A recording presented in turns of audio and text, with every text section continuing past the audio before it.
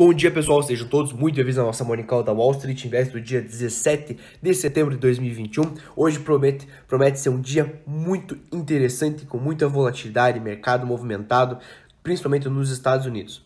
Primeiro ponto, que ainda tem tensões entre Afeganistão e Estados Unidos, depois da retirada das tropas do, do presidente Joe Biden pediu a solitada a saída das tropas.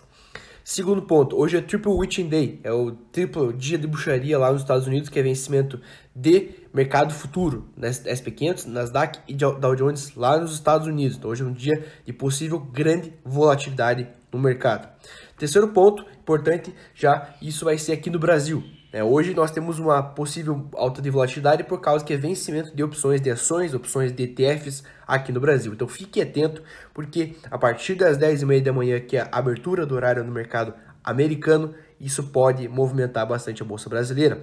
Ontem nós também tivemos a divulgação do balanço da nova de pagamento de dividendos da Vale, que vai pagar em torno de 40 bilhões de reais. Isso dá mais ou menos 8 reais de por ação, isso dá um bom rendimento. Porém, o banco UBS recomendou a venda, recomendou a venda das ações mesmo depois do pagamento de dividendos, que isso é muito crucial. Então, o banco UBS falou que recomenda a venda. Então, a Vale que fechou aproximadamente a 90 reais, possivelmente vai ter uma queda hoje. Por quê? Porque o minério de ferro caiu 7% na bolsa de Dalian na China. CSN Cogna, perdão, CSN é, CSN Semin, é, Gerdau, todas as empresas além da Vale podem ser afetadas diretamente com isso. Tá? Nesse momento o índice SP500 cai 0,27, o índice Dow Jones cai 0,24, o índice A50 da China fechou em alta depois de, é, de uma semana inteira de queda, o índice DAX da Alemanha cai 0,67, segue os Estados Unidos, o FTSE cai 0,21, o petróleo WTI, que é negociado no Texas, cai 0,47 e já o minério de ferro caiu 7%.